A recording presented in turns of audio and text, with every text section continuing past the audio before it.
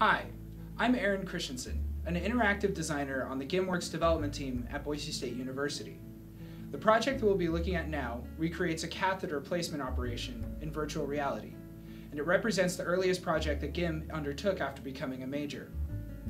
The intent behind this simulation's development was to decrease the cost of medical training while simultaneously increasing the amount of practice each student has with a given operation. Catheter placement has a high risk of secondary infection when the procedure isn't performed properly, a risk that is made all the more likely if newly trained medical practitioners haven't had adequate amounts of practice with the procedure beforehand.